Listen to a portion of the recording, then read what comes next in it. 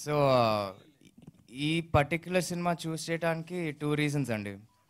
Um, నేనున్న సిచ్యువేషన్కి I still I'm yet to prove myself అనేది ఐఎమ్ స్ట్రాంగ్లీ యూనో నా నా the only sole purpose in trying right now is to find audience acceptance ఇప్పుడు.